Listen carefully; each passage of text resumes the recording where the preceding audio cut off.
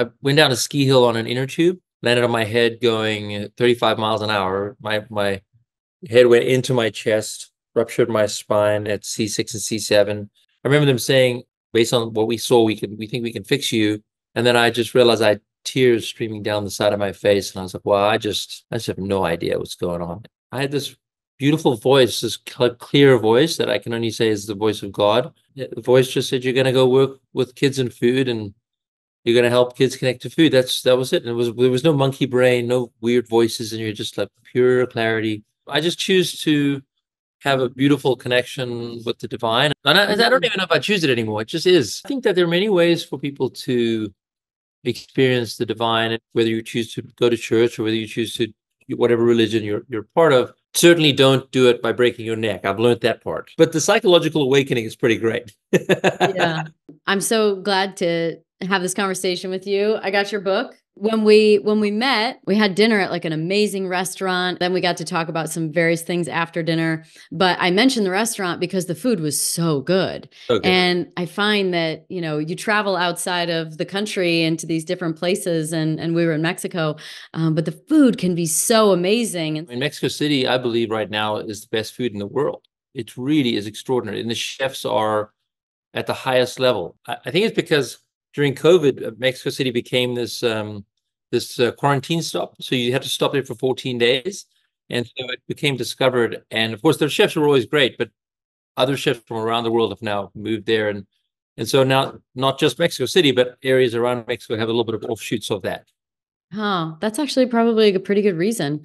Um, it's like tall people become basketball players and short people become race car drivers. um, but the food was so good. And one of the other things, like we're going to talk plenty about food, um, but uh, the, we talked about your drone company, which I oh, had yeah, just Nova. Sky Stories. That's incredible. I had just seen your show in Vegas for the last F1 race. And I was like, oh my God, that was you. I'm like, that was like the most amazing drone show I've ever seen. As I was describing, like there was like a five, four, three, two, one that like counted down uh, oh, yeah, Lewis right. Hamilton. No, and, no, It was so cool. Race car drivers, Lewis and Hamilton and George were racing the drones. It was incredible what did I read? It's like 9,000 drones that you purchased for this company. Is that right? Yeah, so it was a, about two years ago, uh, Intel had created this incredible division to build art in the sky using drones. Um, and the because of COVID, there were no audiences. So they like they did the Olympics, for example, and there was no one in the audience, literally zero people. And it it just sort of became this uh, uh, sad, frankly, a little bit depressing business. And um, th- they were going to shut it down.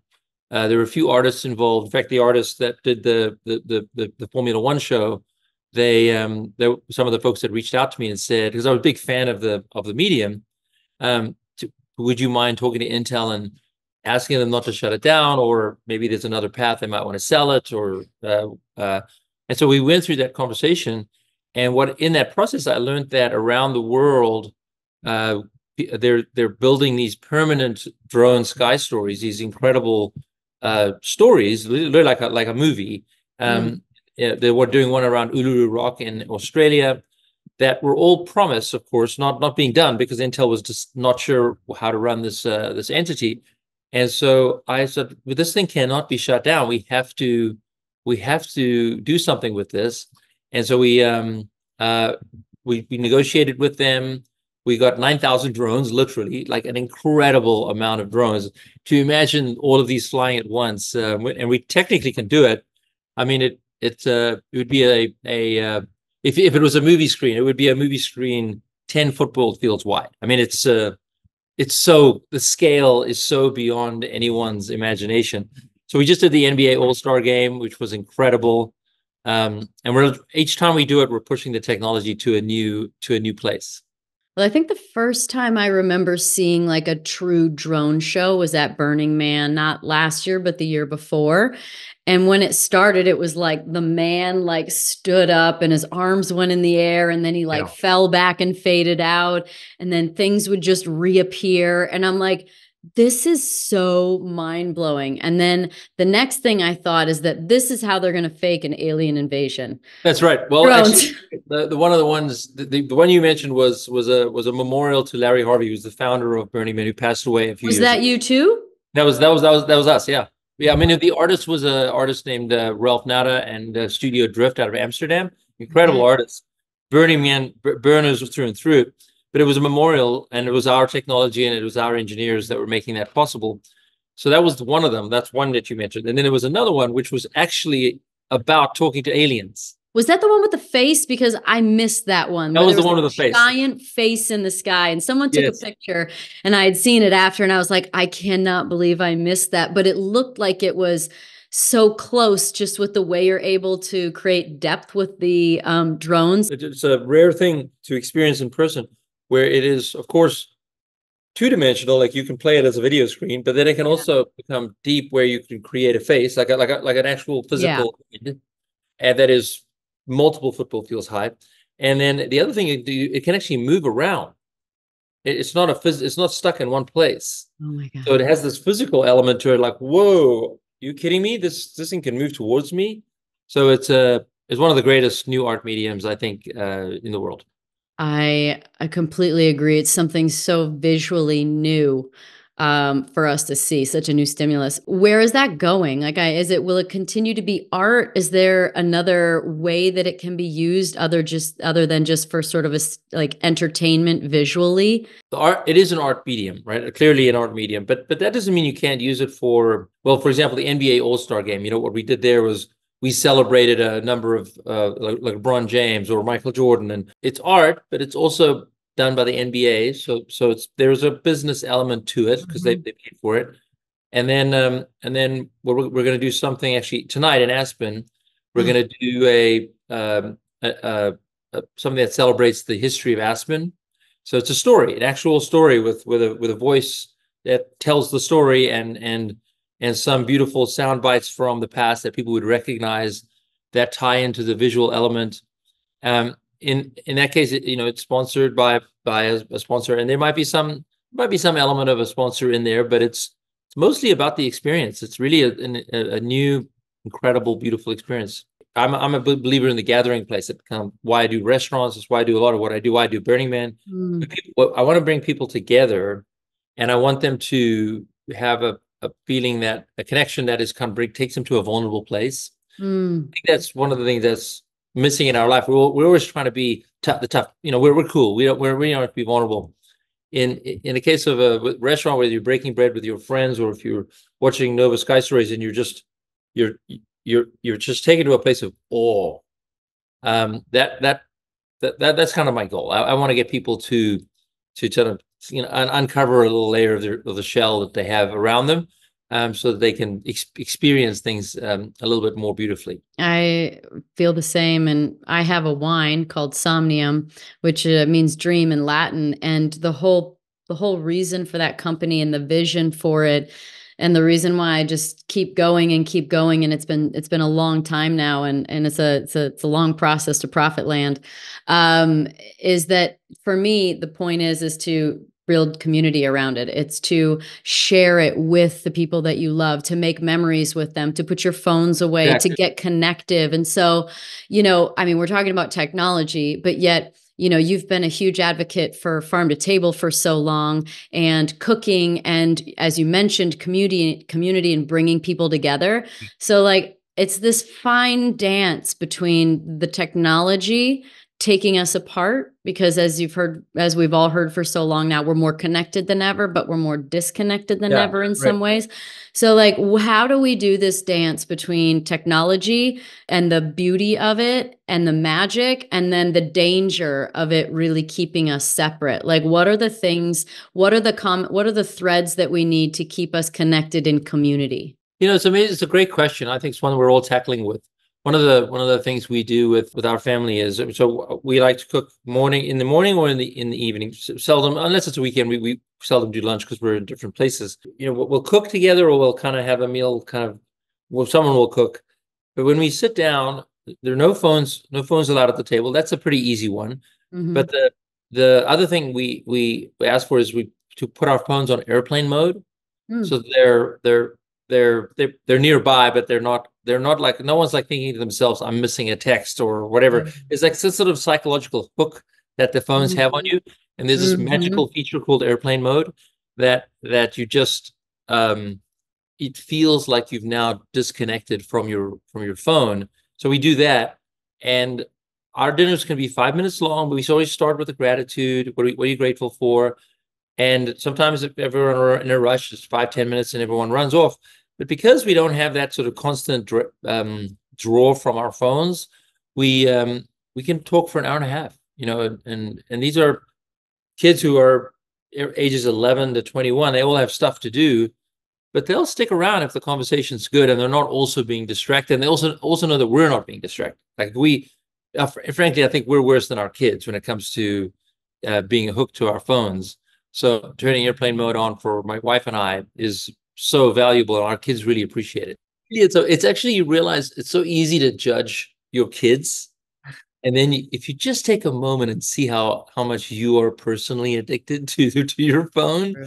it's so true My sister does that too. She has four girls, um, four kids, and she'll catch herself like on her phone too much, especially over the years of like, you know, spending time sitting in a chair and breastfeeding and just kind of sitting there, like having her phone. And she, she, her kids will have certain um, actions or reactions to things she's doing, or phones or technology, and she'll check herself and be like, "Oh gosh, I have to be really careful how Yeah. much I show them I'm doing it." Because as you said, it's so easy to judge them, but like taking stock in what it is that we're actually doing is uh, um, uh, a little more shocking sometimes. Yeah, I love the, the I'm gonna make one final pitch for airplane mode because one of the other things it does is if someone wants to check their phone, if they can't just kind of sneak it, right? They they actually have to turn airplane mode off. And And wait, that's a much bigger decision. that's true. That's it's almost like it's like the gate in front of the house. It's like you're not going to keep the robber out, but you're going to keep like an honest thief out. right, exactly, exactly. Taking care of your health isn't always easy, but it sure should be simple. I have been taking AG1 for a couple of years now. I take it first thing in the morning on an empty stomach, which is how they recommend to take it. It has helped me feel the most healthy that I've ever been. That's because AG1 delivers all of the vitamins, minerals, prebiotics, probiotics that I need for my gut health, which is where I feel like I've had the most improvement. My stomach feels flat, not bloated ever. I can accept any food so much easier. I have more energy every day. My skin looks better. There's a million things that I feel like AG1 has helped with to make me my healthiest self. It's just one scoop mixed in water every day, and it makes me feel the healthiest I've ever been. If there's one product I had to recommend to elevate your health, it's AG1. And that's why I've partnered with them for so long. If you want to take ownership of your health, try AG1 and get a free one year supply of vitamin D3 plus K2 and get five free AG1 travel packs with your first purchase exclusively at drinkag1.com slash pretty intense.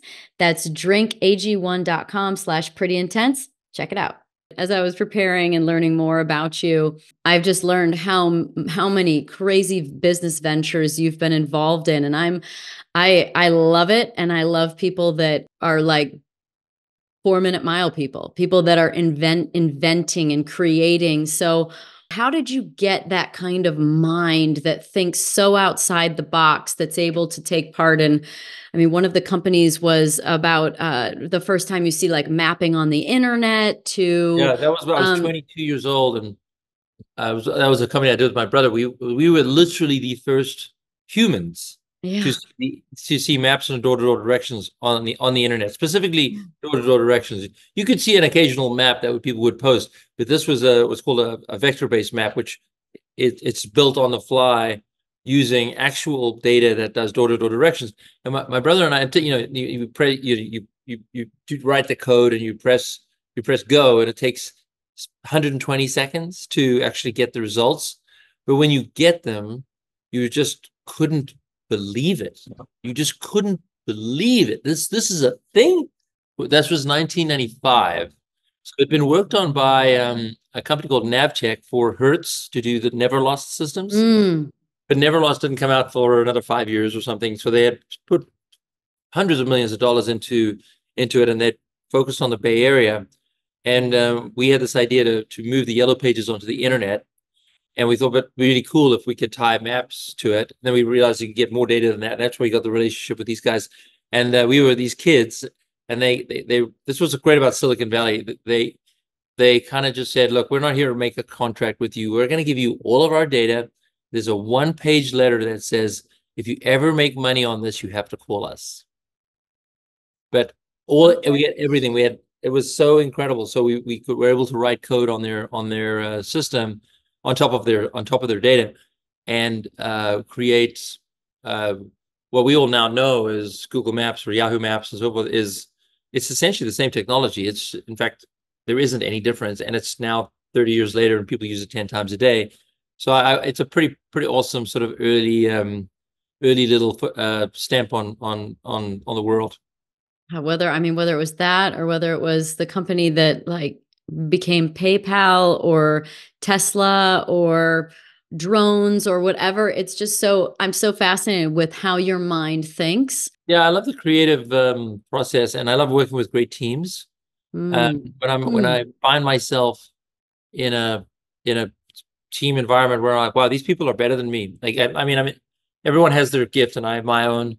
But when you're around people that are better than you, like really, like, wow, I've got to keep up. Yeah. Um, then then then usually pretty amazing things uh, are are created. Yeah, I've always said that with people like that are just people in my life that are helping me work for me, work with me is that I've learned over time that if you don't think someone's quite, you know, you're not really sure if they're right for the job and they're doing okay, you need to fire them because people there are exceptional people and they should blow you away. Do you they agree should, with yeah. that? Yeah. So so what I what I usually find is people um have every every person is different and and they, there's a place for someone where they are extraordinary and if they're with me and they're not extraordinary i'm also keeping them from that place mm. and so it's a it's a really powerful lesson that it's not it's, it's more about are people in the right seat Are they're in a place where their gifts really shine and um and um the uh the, the lesson for me is if someone is not shining or or or there's there's there's something missing, they either maybe they don't they don't have passion for it, or they um uh they might maybe they're just doing the job because they need the money and they they they might prefer to do a job that earns less money, but that's where they would shine. Mm-hmm. Um, you know, uh, I live in the restaurant world where people in the restaurant world do not make much money, but they love it. Mm. But if you're in the restaurant world and you don't love it, what are you doing here? There's so many other places to go. Um, and so it's a it's a uh, a lesson that it's really applying your gift where where you believe you'll be most appreciated. And for me when i watch people on my team who are not not able to really shine um, i don't think it's because of they're just a bad person. No no i think they're just in the wrong seat. Yeah all right let's move them to let's let's let's ask them to leave which can be a little difficult but but i have um I have so many friends of mine that I've built up over the years that used to work for me that I asked them to leave, and now they're in a place where they're shining and they're like they're so happy. Mm. They were not actually happy in the position where they were struggling. Totally. Yeah. Um, do you think that there's an environment that a boss or an owner can create that will bring out something different in someone? Perhaps, like I heard you say that if you're not taking risks, you're probably not making a difference. And so, like, that's fine for you, but for the people working for you too, I've heard that, you know, when there's so much rigidity and so much penalty or um, uh, there's punishment for doing something wrong or making mistakes, it kind of um, zaps the creativity and zaps the ability to be able to um, take chances and really see things grow. So, given the fact that you've taken so many risks, do you do, is there an environment that you create where people are are are able to make mistakes here and there um, without? I, I definitely do, but I think that there are actually I think there are plenty of roles where leaders who don't allow risks and don't allow creativity are are actually there are there are there is a place for them. And then you know, for example, the military during peacetime, there really isn't um, a uh, like when you're in when you're actually at war. Okay, yeah, you need to take risks and you need to uh, get creative. I guess in, in a in a you know not a great way, but it is truly needed. But if but if you're if you're running the military and you need everyone to have their boots polished and their beds made and and they and you're building a culture of of you're constantly ready for for for for war or fighting, but you're but you're but you're actually at peace.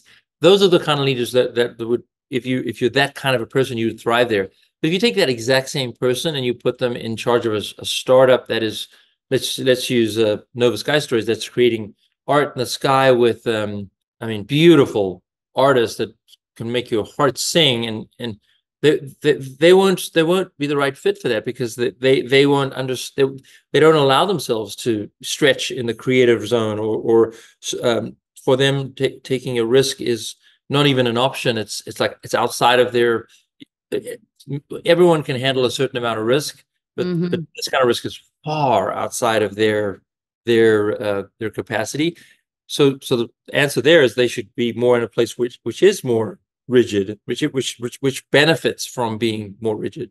Um, you worked with your brother quite a bit in a couple of different companies. What was the difference between you two as leaders and like your strengths, your skill sets? Where were you both? Where were you strong? Where where were you weak? Each of you, and and who has been some of the like some of the best partners that you've had along the way? Because you guys created some amazing stuff. Yeah, it's great. Uh, so yeah, so my brother and I have been working together forever, and we continue to work together uh, my my strength is more of the people person. My brother is truly, I mean, I don't think this is a arguable. He's the top, greatest engineer in the world. He's like the Michael Jordan of of engineering. I mean, he's just mm-hmm. truly, truly a, uh, uh, far heads and shoulders above above others out there. And and and people who will follow him in that way because he's just so good. Mm-hmm. You know, mm-hmm. but, but, he can be quite harsh on the t- team around him. So when I work with with him, oftentimes I can help out with that part. Um, mm-hmm. but then when I work with him, he helps me on the technical side because I just can't solve these problems. I just don't have it in mm-hmm. my skill set. You know what I mean? Like the the um, the ability to do. Uh, I'm a big fan of, of basketball. To you when you watch a, um, a, a top basketball player play, you just look, wow, I just can't do that. Yeah, I mean, right. I, and I just can't do that. and uh, and it's uh, uh it's certain things like that when I'm with my brother. He's he's truly a a savant when it comes to uh, the engineering um, and even just like pushing the edges the edges of the laws of physics. I mean, truly, truly that level. And and so I think that the two of us together have, in certain companies, worked very well together. Like Tesla, for example, where there's a um, it's a large people person problem. It's a large uh, uh, technical problem, and there's a lot for us to work on. Uh, I've been working with him with SpaceX for 20 years. I'll be honest, I'm just along for the ride because that is just I get to go watch rockets blow up. It's awesome. and make it. and no, then we've made many, many, but in the beginning it was like whatever. Let's just like this is so crazy. Let's go. Yeah, but it takes people too. And so yeah, like the, it's it's a wonderful group of people always takes a team. Like, I mean, yeah. this is the thing that happens in life. So even if you're doing a solo sport or solo-ish sport, it still takes a team to yeah. manage the schedule or manage the travel or manage. There's like it's it, there's a coaches. I mean, nothing in life is really and, and when done great is solo. It is. Uh, yeah, I, I want to make sure it is definitely a team, and it is an incredible, yeah. incredible team. It's just. Uh, that one is definitely pushing the laws of physics. It's, it's yeah, no kidding. Pace, above my pay grade. Beyond the scope of my imagination. right. I want I want to talk about your childhood a little because I'm always fascinated by childhood and shaping people and to find out that your dad was not the best dad in the world and not the easiest dad. I'd love for you to talk about what that was like and then also your mom because on the other side of it your mom seems like she was wonderful and you know just even to like see her you know her becoming a supermodel in her 60s is just like such a cool thing like she she yeah. I, I'm I'm curious about your parents and the way that they what they taught you by being the way that they were yeah you know my, my mom is uh uh so her side of the family uh so my grandfather her, her there was a, a grandmother they were uh, they, they were pioneers by the classical sense. They, they mapped Africa during a time. They flew in a little plane, uh, single engine plane, mapping southern Africa because it was not mapped back then, and you're you're in the most difficult, harsh environments ever. So very much like a kind of like an entrepreneur, but almost to the point of you know we could die on this trip, but but mm. we're going to do it because it's awesome and we're we're excited. So we kind of had that kind of um, energy in the family. Um, and so my mom, my mom uh, became a, a dietitian. Uh, uh, and uh, of course, she is who she is, and we'll, we'll get to her in a moment. When she when she got married to my father, it was a he was a he's a very difficult human and uh, abusive in in more ways than you can describe. And uh, for her, it was about she just got trapped. You know, in South Africa, divorce was not was not legal. It was run by the apartheid government, very hardcore religious. Uh, and uh, and so there was a year, I think, in 1979, where they finally made divorce legal. And the day that it was legal, my mom had already prepared all the paperwork secretly. Um, she we escaped in the middle of the night with us three kids in the back seat. Wow. She just drove for hours and hours and hours away just to get away from from him because there was just no getting away from him. He's just just very, oh, uh, very very very um very dark human. They say what doesn't kill you makes you stronger. I, I also say like what what he I told I learned so much from him. I learned what not to do which is uh, look I mean, like there is so much value in that too. There, exactly. we'd be racing and you try different setup changes and it doesn't work. We always said we know now what not to do. Like you eliminate that do. from your like try list, and yeah. that can absolutely be applied to being a human being. But you know, there's also healing and finding the peace and the like perspective in it um, because by no means anyone should have to deal with probably what you and your brother yeah, and sister was, had to deal with, and your mom. Very hard, and my mom as well. But I'll tell you what's beautiful about my mom is, on the other hand, she's taught us what to do, right? Where she she really talks about how wonderful it is for her to have us as her friends as we get older. And I really taken that to heart, you know. So I yeah. cook with my kids now and yeah, breakfast or dinner, and it's not just about the experience, which is, which of course is nice. It's beautiful, wonderful to connect with your kids.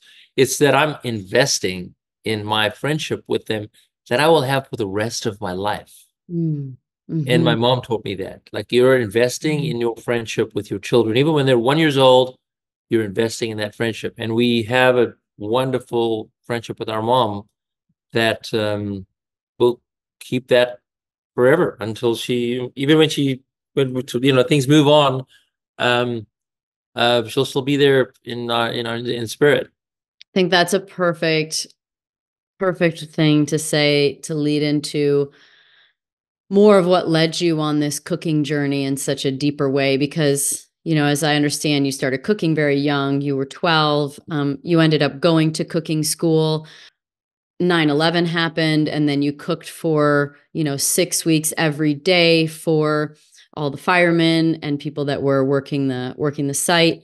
But it was the it was a tubing accident that really like gave you this message because you were almost paralyzed is that correct yeah i was um i had to i went down a ski hill on an inner tube and landed on my head going 35 miles an hour my my head went into my chest ruptured my spine at c6 and c7 i was paralyzed but it was a I, I kind of won the lottery, I guess, depending on your perspective in that I didn't break my neck at, at an angle. And when you break your neck at an angle, it twists the spinal column. And mine was just like straight on. And it's very rare to have that. And so even though I had paralysis, and it was a weird kind of paralysis, it was getting worse. It, and and that, that shouldn't be how paralysis works. It should be just right. like you're, you're, you're done. And so they, I was in a clinic in in in uh, Jackson Hole, not a proper hospital, and so, but they did have an MRI machine and we were able to check and they said when they looked at it, I had blood in the spinal column from the from the rupturing of it, and it was causing it to be paralyzed. Paralyzed. So I had this feeling of it's, it's a horrible terror. I would say horrible. It's it's really you're living terror because you're you're you don't know what's going on. You, your brain cannot process that you're. Oh wow! But it, you just you just can't. It's just a. I remember them saying, you know, we can, based on what we saw, we can, we think we can fix you. Rational brain was like, oh, okay, great, they can fix me. And then I just realized I tears streaming down the side of my face. And I was like, well, I just, I just have no idea what's going on. It's just. So, because of the spinal column, that reduces your sort of cognitive function because of that? Or was it just because there was so much going on? Yeah, I was in shock. It was more like I was couldn't couldn't figure it out. But the but then I had this beautiful voice, this clear voice that I can only say is the voice of God. And it was beautiful. It was, you're going to go work. I was a high tech technology company CEO. I had the restaurant, but I was not really focused on it. And um, the voice just said, "You're going to go work with kids and food, and you're going to help kids connect to food." That's that was it. And it was there was no monkey brain, no weird voices, and you're just like pure clarity. Huh. It wasn't a flash of light. It was a. Uh, they healed me. I had two months of being horizontal, so there was a lot of time, your brain goes a little crazy. But for for the first two weeks, I still had that beautiful, clear voice and um, and it slowly started to slip away. But it had been long enough where I was able to make some major life decisions to to do that. And so I built a, a nonprofit called Big Green. Right. Now, 14 years uh, in, we service thousands of schools and thousands of homes where we help Americans grow food again. Yeah, it's beautiful. We really believe growing food changes lives. It connects you to, uh, of course, nutrition security, where you you get quality food in your system and you understand where it comes from. But also, it's good for mental health. You get out and you you look after your. It's almost meditative in in the in the in the day, and then it gets you out into nature. And it also, sadly, today it opens your eyes up to the weather volatility created by climate change, because when you start growing food, you realize how much the weather has changed. Um, Mm. it'll, it'll the the the, the just your garden unfortunately will get will get damaged or destroyed Hmm. pretty regularly, and and that that that is a it's a lesson we all need to learn right now. I get really into sort of the quantum realm and like what's really happening around us. But you said in spirit, but I thought I heard you say at one point, listening to some interviews that you've done, that you weren't, you're not a spiritual person at all or not a religious. Is that, is no, no, that I, true? I'm actually, actually very spiritual, but I'm okay. not, Okay. I grew up in a, the apartheid system where they used the Christian religion to create an, an unspeakable society and just, for example, no divorce allowed. No, actually, that's not right, you know. Or it was very, it was very um, reminiscent of of of sort of strict Islam. You know, it's also I wouldn't want to live in that environment either. So the so I I have a kind of a negative view of of religion as relates to Christianity. I have a negative Yeah. one as it relates to Islam. Like well, what is there? I'm not Jewish, and that, you know that's kind of hard to get into that one. So I'm not really that. So, um, what what choice do I have? So I just choose to have a beautiful connection with the divine, and I don't have a judgment around it. I don't have an evangelical streak around it. I just choose to have it, and I, I don't even know if I choose it anymore. It just is. Just I just feel connected. spiritually spirituality is isness and so is uh, spiritual experiences and Yeah. you know and i don't know if this is an area you get into but psychedelics and just like the experiences that you have in there they're just they you they become fully embodied and i think that's what's beautiful about uh spirituality is it can it tends to be very experiential and so that experience now becomes an isness because it's embodied right whereas opposed to a book and you read the words and you cognitively think about it you don't always feel it. And it isn't until you have experiences where you can embody this sort of new reality that there's really and there's no need to even really say anything because it's it's essentially needed by everyone to have their own experience and it's just becomes the way you live your life.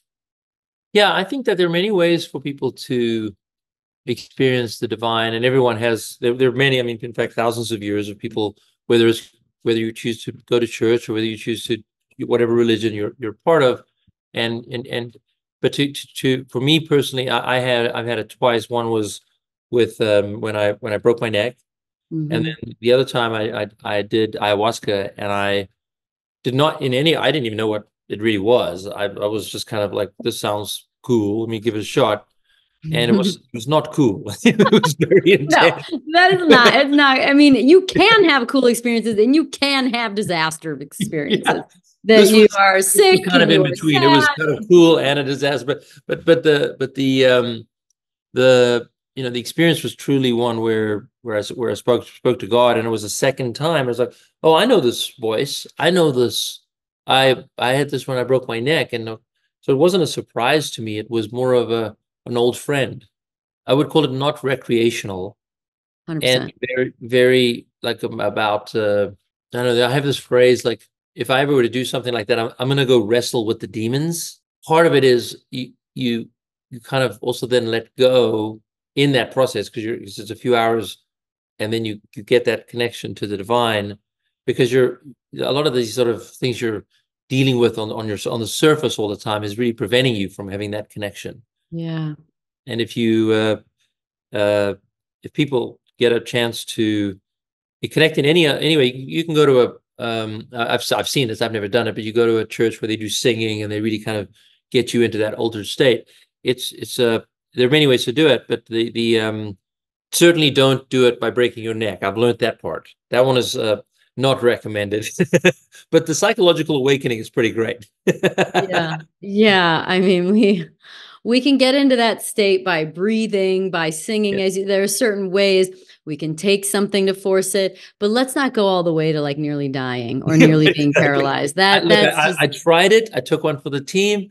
I can give you the feedback. It's not necessary. if you're not taking risks, you're probably not making difference, right? You know, right? Exactly.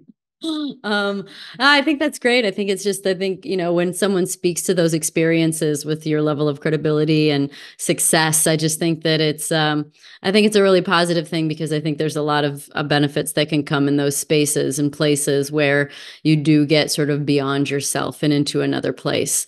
Um so i appreciate you sharing that. Thank imagine you when you're when you're in your when you're driving and you're racing i'm, I'm just guessing because i've never been there there's got to be an altered state in there that that yeah, uh, yeah.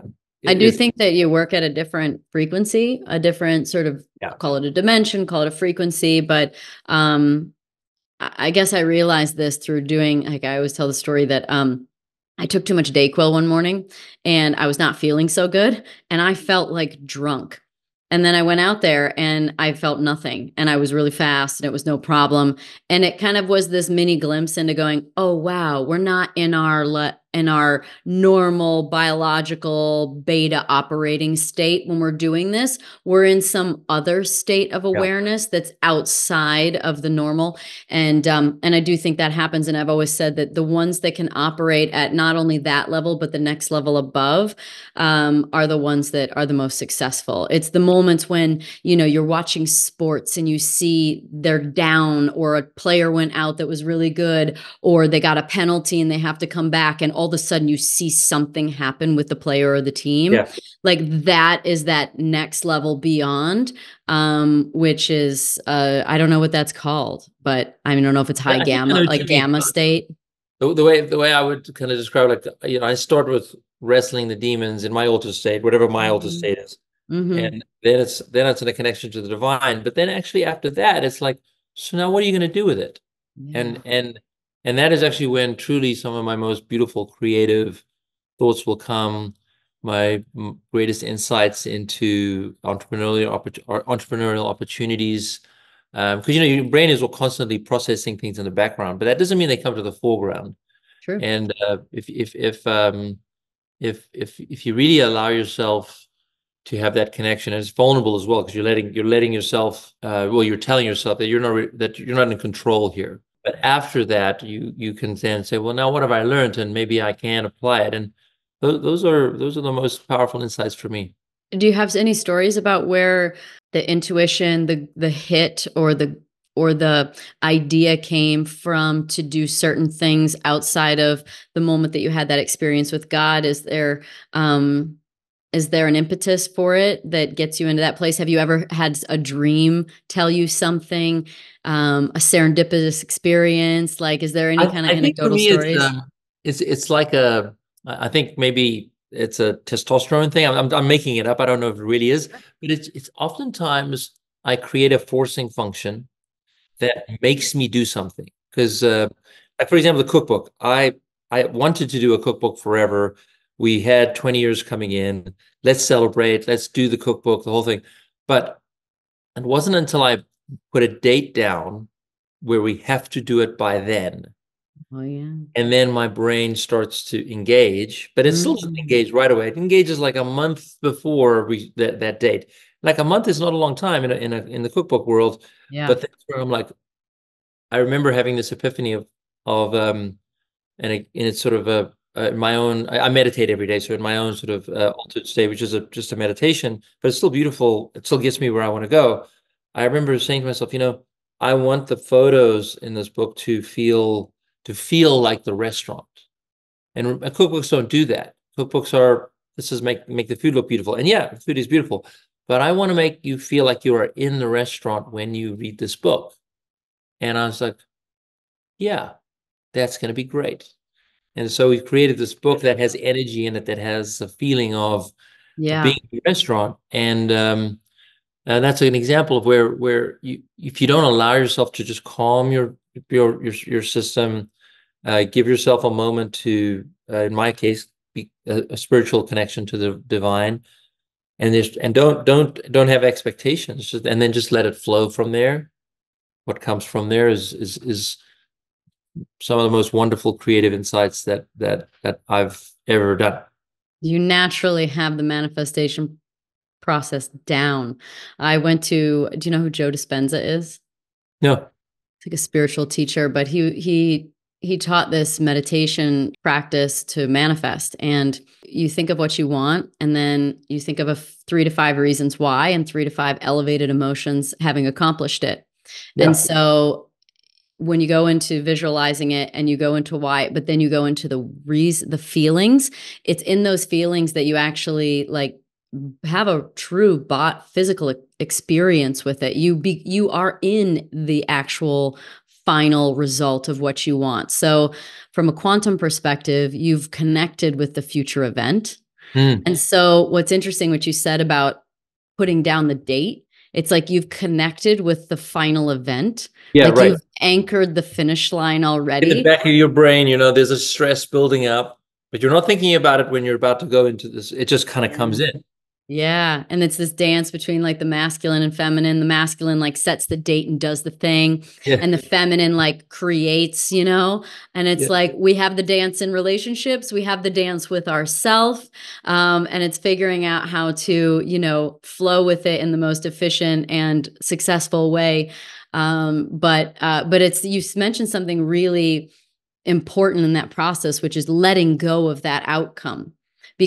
Because when you let go of exactly how you think it should go and when it should happen and everything, the universe lines it up in such a magical way that you could never sometimes. And and you reduce that like clashing energy of wanting something so badly, but also implying the feeling of like I don't have it because every Yeah. time you want something really bad you're also realizing that you don't have it Yeah. and um and so I mean, you don't want to come from a place of lack when you're in that place because then you're not able to get to to the next. where'd you learn that? Um, I think I just uh, I tried a whole bunch of different ways, and that one is way, those other ways didn't work. well, that's it. That's totally the magic. Hey i want to talk more about food now. Um you were talking about having a garden. And so when i was um some of the years when i was living in north carolina racing nascar i had a garden and it was just the best. And i've tried to create gardens after that. Like i created like this amazing greenhouse in another house and now i live in arizona and it's a little challenging. Yeah. um but gardens are just like you said it like they're connecting with soil with nature with sunlight with you know it's like meditative it's you know there's something to be said about uh the process of creating what you put on your plate too and i love that with big green you basically like bring that to kids in schools right you teach them about growing and and do they do any do they eat the food too like Yeah, how does absolutely. that The- the process work because i think food. everyone should be a farmer Exactly. They they grow their food. They they learn the wonderful life lesson of if you look after it, it thrives, and if you don't look after it, it dies. I mean, it's a it's powerful. Then you're talking about an eight year old or nine year old, and they're like, oh, I've got to go out and look after it. And we yeah. also we also work to do things that are uh, exciting for the kids. So we'll grow strawberries, we'll grow cherry tomatoes, we'll we'll grow the kind of ones that grow fast yeah, they grow fast and they taste Yeah. good, and, and um, so it's also it's it's we're you know obviously um, working with the with them in a, in a place where they are. Mhm. we do- grow things like uh, carrots. Is, is as surprising as it sounds. I mean, kids pull that carrot out of the ground. It's it's like a little green sprout, and they pull it out, and it's this giant carrot. It, it's the the the eye their eyes just pop out. They can't believe it. It's like a magic trick and they'll eat that carrot with the, the dirt still still on it and that is that I'll, I'll never get tired of that experience. We've now been doing it for 14 years and i'll try to be in a garden with kids every few months and i'll never get tired of that experience of watching them um, harvest and we'll, we'll we might do you know when you're growing food in a in a school you- you're not you're not feeding the school. You're you're, you're giving each student a, a taste of of what what's growing there. It's beautiful. But um, you get to make them a salad or you make them a pizza. We do a lot of pizza gardens where like we grow tomatoes and we, you know, just we, we actually make, uh, except for the dough, of course, we make make pizza um, uh, out of the garden. Uh, we do salsa gardens. Uh, we grow cilantro, a little bit onions, a little jalapenos, and um, and the, the kind of thing kids love, right? And and making it a joy for them, making it something they will just keep for the rest of their lives it really was a it was a message from God to do it, and and it's not a chore. It's just a beautiful thing. It's just beautiful. What about you know? There's so much talk about soil and what we're doing to it and regenerative farming and that if we don't take care of it we're going to have like 60 harvests left in our soil before it doesn't produce anything produce food in a in the way that we need is that true to your understanding and your experience? And what is your, have you dabbled in regenerative farming in any way? Yeah, so I know actually know a lot about it. I've been working in farming now probably 20 years, mm. the, the, life of the restaurant, because we started out as a farm to table restaurant, which still yeah. considered one of the leading farm to table restaurants in the country. Love and, it. Um, and we, we we love working with local farmers. We love working with great sourcing. Nowadays, because we're in more than one geography, we work uh, focus more on the best farmer, not necessarily they don't have to be 30 miles away. But the the, the process of of regenerative is it's a it's a really good process. It's it's you know you're putting animals on the land, you're you're adding cover crops for put, put nitrogen into soil. Um, uh, the um, there, there, there, there's this concept of no-till where you you don't mm-hmm. till up the ground and, and let the carbon out out. And and there's few there are a few other techniques in there that that help rebuild the soil. So you can't really argue with it. It's a it's a beautiful um, thing for for us to move towards. What, what, what the challenge, of course, is it doesn't work in the industrial food system where you're growing corn at mass, and um, you know I, I um I I don't I haven't, I haven't seen any data where we have 60 harvests left or things like that. I doubt that's the case. But what I what I will say is that what's great about regenerative farming is it's teaching the industry, the industrial complex, um, different ways to uh, be a little bit more responsible citizen. And, and, then there's also the growth of the regenerative farmers themselves, where we have now almost 30,000 regenerative farmers in America, which is e- an epic number compared to almost zero uh, 10 years ago. And um, uh, but I wouldn't say zero, a few hundred, because they were all kind of there were a lot of farmers that, that were doing it from a beautiful perspective, but they weren't even called regenerative in those days. But um, this concept of looking after our soil is just a win-win for for climate. It's a win-win for the taste of the food. It's a win-win for the nutrients in the food. It's a win-win all around. There there are a lot of ways to to criticize it, like it's is it it's harder work for the farmer. Okay, but it's not like it's easy to farm in other ways either. Um, uh, there, well, I think one of the biggest issues is no subsidies for for regenerative farming, but there are lots of subsidies for the other way of farming. That's where the government needs to fix, uh, the, you know, to um, taking subsidies away is very hard, but to also punish regenerative, that's that's not okay. Yeah. So, and they're not intentionally punishing it, but by not giving it any subsidies, they they they are um, uh, kind of a backhanded punishment. I do think there's there's important things that the regenerative movement is doing, and and we do. My my wife and I do work uh, to support that movement you talked about factory farming, and I sometimes wonder um, whether it's you know f- vegetables, fruits, um, grains, and things like that, or or animal meat.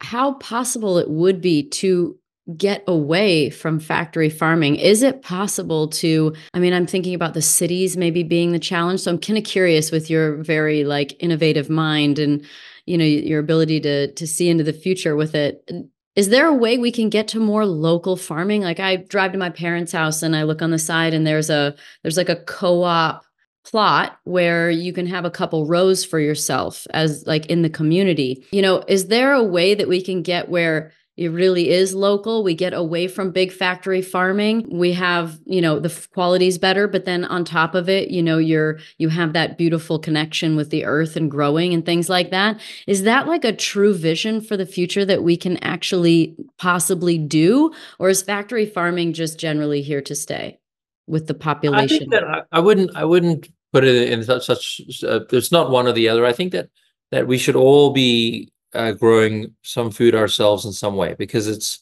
first of all you get to grow what you love. So if you love tomatoes in the summer, or for us we have peach peach tree peaches. It's just wonderful.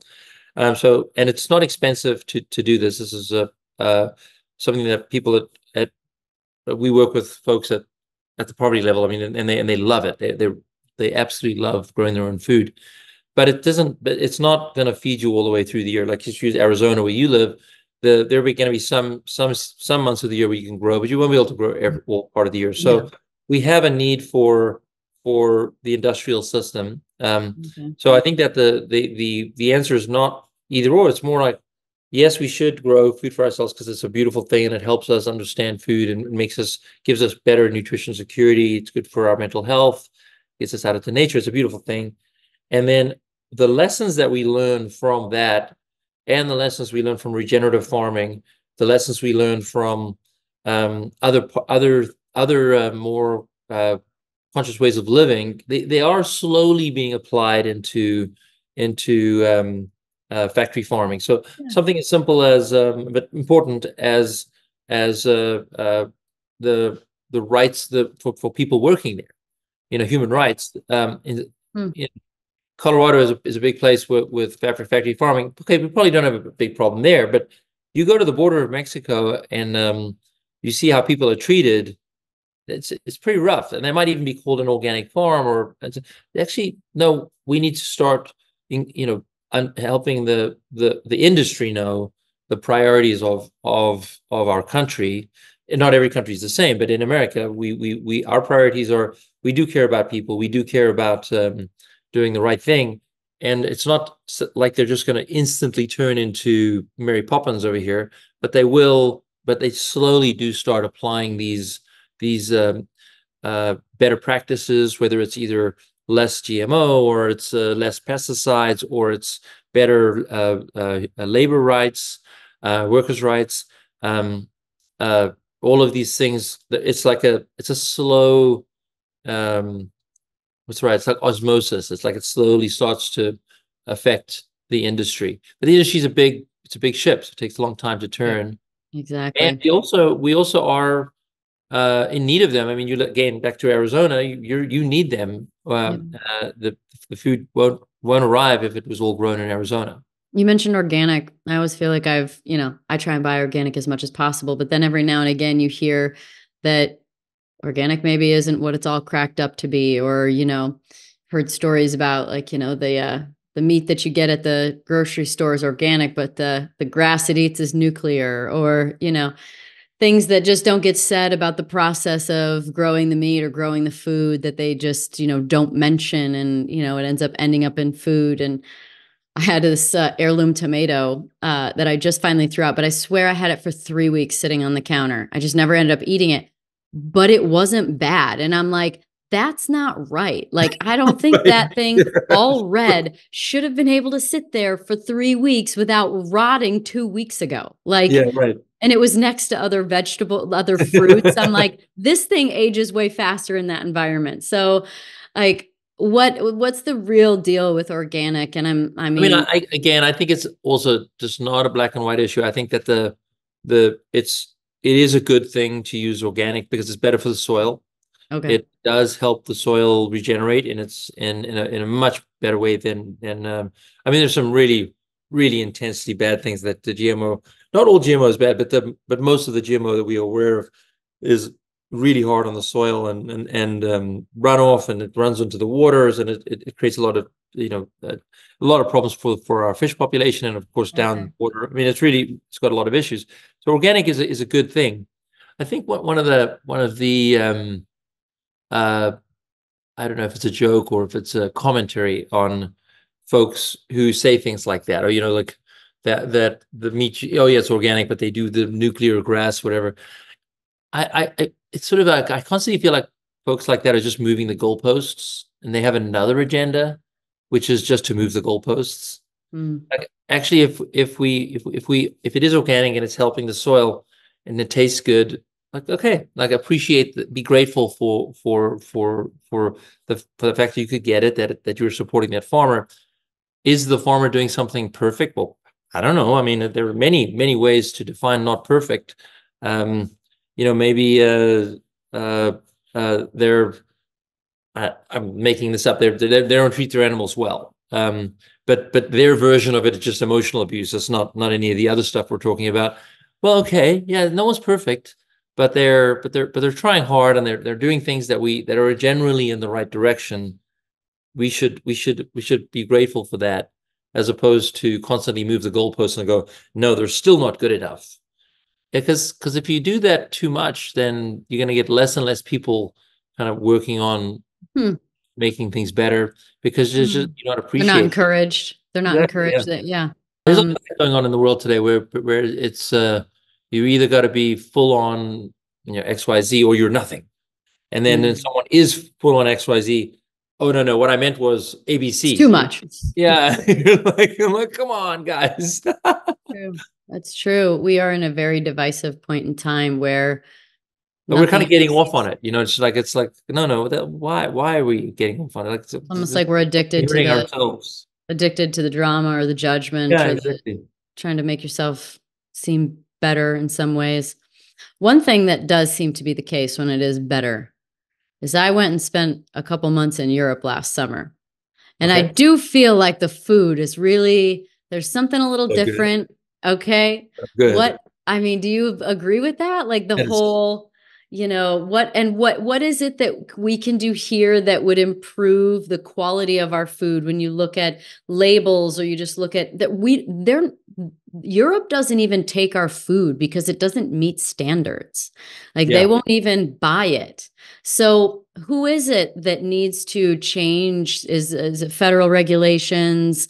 Um, like I don't think it's so much but I think it's more that in in in Europe they have a amazing respect for the artisan, and an artisan could be the farmer, could be the baker, could be the restaurateur, and um, you know you could have a restaurateur. I- I- Italy's famous for this. You're in a trattoria, you're maybe the only person there, and you know the, the chef comes out or the owner is the same person as the chef. It's a woman or a man, and and they're like, "What would you like?" And you you might, might pick something, and maybe it's not even a menu, and you'll have one of the best meals of your life. Mhm. And and the chef is just so excited to to have that experience with you. That and that's a beautiful thing that is really respected in Europe. In America, it's all uh, about is this, is it a busy restaurant? Is there volume? And we kind of move our uh, our their their version of ego is creating a beautiful dish for that get for for you or that guest. Um, our version, the ego is, you know, no, you got to you, you got to do something more. And I, I'm not arguing because I love America and I live here and it's my favorite country by far. But if I want to go have a beautiful romantic experience, it, it's hard to beat. Um, just feeling the love of that art, art artisan in America, we're not starting to see that with bakers. They're they're they really are getting good, and bakers do not. These are not big businesses because when you start getting into industrial scale, all of the artisanship goes away. You just you can't. It has to be removed. But nowadays, you can go to um, in most towns. You go there. The baker is back, and you can actually experience amazing bread, cooked Mhm. with love, baked with love. And in uh, in restaurants, it's a it's a little bit less so because restaurants are there's such tight margins and they they really have to be busy and it's it's a it's a much more of an operational uh, intense uh, experience. But the the best restaurants the chefs are artists. They they care they put in their heart on their sleeves and they and they want you to they want you to experience love through that food.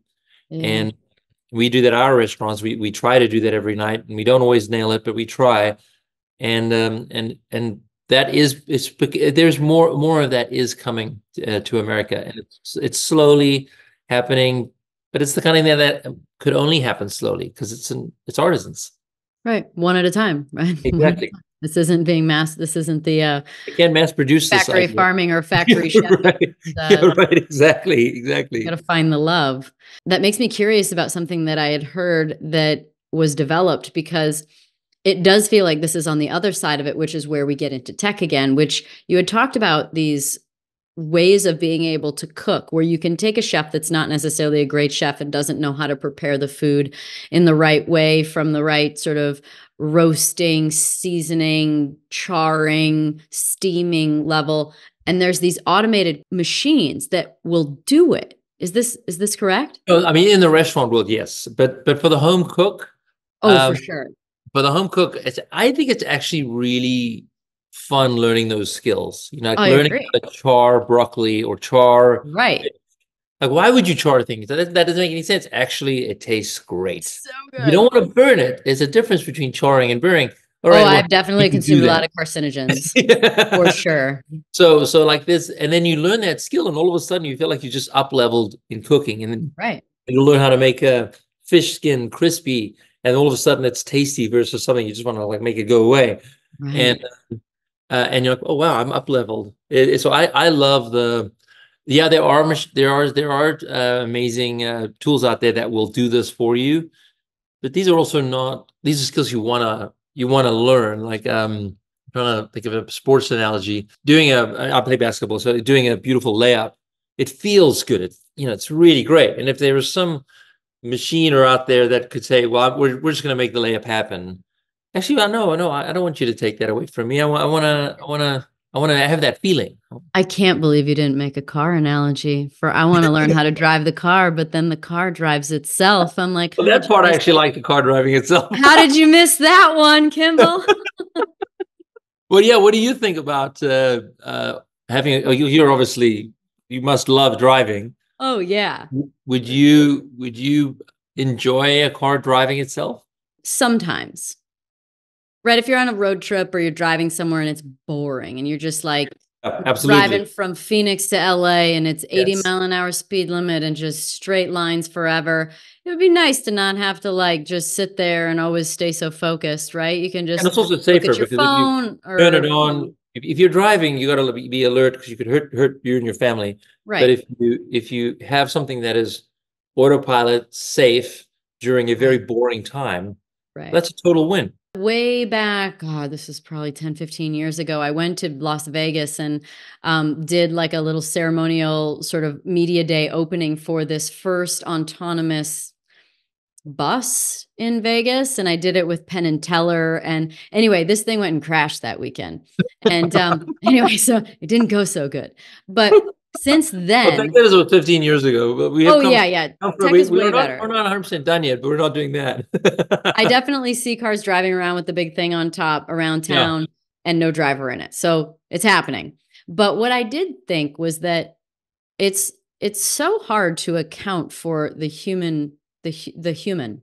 Meaning you can do stoplights speed limits all these things like that can be taken into account but you don't you it's hard to account for the human element where somebody just accidentally walks out in the street at the wrong time where Yeah. someone makes a veer like they have a heart attack and they swerve the wheel like you i don't know i'm just thinking of any moment Yeah. where something outside of a normal sort of per, normal process happens and humans do it all the time and so i wondered how possible it would be to have autonomous cars without essentially all being autonomous like this is Yeah, the you know- autonomous zone and this is the non or because the human is so unpredictable yeah, what, what you're describing are what we call corner cases. So it's a, Mm. a case where um, you know grandma's walking on one side and a little child is running across the, this other side, and and then um, I don't know, a leader of the free world is walking on this way. And like as a human, you can go, well, like go and you have to hit one of them. Like uh, as a human, you you you you have to choose. That's a terrible analogy, but it is real. It's like it's one that people use. But the but the but but other humans won't judge you for your decision. Like it's going to be horrible whatever happens, but you won't- be judged. What happens in an accident autonomous cars, you you it, would- it would be judged. And so so what we do at at Tesla is we we are we're we're much more cautious than we we have to be because we really don't want to be in that situation in the first place. right And so um and I think that'll obviously it's getting better all the time, but but as a result, when you're on the on the highway and and that, those kind of corner cases don't happen very often, um you you it's wonderful to let the car drive itself. And then when you're driving, uh, when I personally drive downtown Boulder, I, I'll get a kick out of it. I'll have it drive myself to work and stuff. But I also like to hold the wheel because it's sometimes it's just too cautious, you know. And and um you're like come on yeah, like come on, get over Yeah, right, exactly. It feels like uh, uh I don't know, you're uh, you- uh my my mom barely drives, but you know, it's like your mother's driving. i was gonna say driving miss daisy yeah, right. but daisy's driving right but but very cautious and it's meant to be safe and it is safe it's the safest way to go um, and it, it's getting getting better. But I, I, I love your view. You, you know, you, you you you're a, you're you're a driver. I mean, you you you want to you want to feel it. And I, I I like driving too, but it's it's it's it's curious. I love hearing your view. What does it look like in the future? Like, what is living as a living human being in your house and you're going to work and, you know, just having your everyday life? What does that look like in 50 years? How are we going to eat? How are we going to get around? Like, how does that look in the future in your mind? You know, it's, it's a subject that people are talking about a lot today. And um, I, I have a different view uh, of a lot of others is that I, I'm not sure things are going to be that fundamentally different. And and I I love this movie called L.A. Story. It's, it's a movie from 1992, mm-hmm. and it's a movie about living in L.A. And this is before the internet, or at least before the internet became a, a public tool. Um, before uh, before cell phones, even I don't think there were cell phones in this movie. But obviously, no iPhones. And it is remarkable how identical it is to life today. I need to watch. Like not like kind of the same. It's identical. Oh my god. So I think that the, there's a um, there are benefits we, we're going to get from technology that will enable us to maybe be, be more productive. It might there'll be benefits that will make us safer, like our cars will be safer. Um, there'll be benefits uh, uh, from AI that will help us be be more creative. Uh, um, I, am still an absolute believer in the in the in the power of the person, the individual. So even though AI might be able to create beautiful art, the artist is the one that will guide the AI and will have a story to tell that is that they want to move people with. Mm. And if hmm. you, if you think the AI is going to do that, um, I think you don't understand how art works. You know, someone's got to have their heart heart on their sleeve. So I think that there's a absolutely benefits we've gotten. Let's just let's go back on the past 30 years. We have Google. We can access information in an instant. We have iPhones. We can stay connected with our friends and family in an instant. We are using social media to, to share what we do and and and so forth. And our lives are the same. And I find I find that both um what's the right word? It's it's both an optimistic view. It's also like a it's a calming view. Like uh, we don't have to freak out about it. Um, I do I do believe we'll we'll be we'll be healthier as we learn more about the the human the human biology and how how we'll be able to uh, maybe live a healthier, longer life. And I think that that I look forward to that. Uh, I think that uh, we also want to have deep connections with our family and friends. And I think I think especially COVID, where which is really uh, came out of nowhere. We we really saw what it was like to live in a basement wrapped in cotton wool and not seeing our friends, playing video games and watching Netflix all day. Drove us all to drink. Oh, seriously. I mean, I mean, I actually, funny you said, I, I never realized I could be an alcoholic until because you're sitting around all day, you got nothing. Because it's else. like four o'clock, and you're like, yeah. sun might it's, be going down. I'm going to start now and uh, say. anyway, and I, and you know, for me, I really love the gathering place. I love bringing people together. So it was torture for me, but I know I watched how we had out of it, coming out of that, we have this kind of loneliness epidemic where people haven't learned how to reconnect with their friends. They're they're they're addicted in a negative way to social media, and so I this cookbook is very much about cooking for your community. In fact, the title is called "Cooking for Your Community," getting back together with your friends, building that relationship again. Um, yes, thank you. And um, it is uh, a celebration of the gathering place, and and I think that if we if we uh, if we aren't careful, we could go down a path of of being alone, more alone over time, and I, I hope not. But I believe with enough uh, energy now, realizing how bad things were at COVID when we were truly in a technology world, we were everything was Zoom or everything was social media or everything was email and and whoa whoa whoa whoa whoa that that, that sucked. So I, I I'm this book this book is part of helping us get on a better path and um, I believe that we will be on that better path. Part of it because we also we tried the other way and was whoa that sucked. Yeah, we got that dramatic, very yeah. quick, aggressive glimpse into what it would be like to aggressive just be inside and you know that's a weird future that we the dystopian future that we don't want to live in. hundred percent. Well, maybe maybe food will be the thing that keeps us grounded, literally. Yeah, I, I, I love food is a gift. We, uh, food is a gift we give ourselves three times a day. Yeah. Make it a good one. Let's do it with our friends and our family. Yeah. Let's build relationships with it. Uh, we don't have a choice. We got to eat. So it's like, I love that. let's use it. The kitchen, it's a restaurant. How many restaurants do you have? We have three. We have in Boulder, Denver, and Chicago, and we're opening up in Austin this summer. And what about Scottsdale? Are you coming here too? Scottsdale might be next. I love it. I will be a huge fan and I will be there all the time. So Cool. thank you so much. This has uh, been very interesting and you're a fascinating person with a lot of heart. Thank you so much. I really appreciated being on, and uh, thanks for having me on. Thanks everybody for listening to the Pretty Intense podcast today. I hope you enjoyed it. If you like what you heard today and you want to hear more, please click on the subscribe button.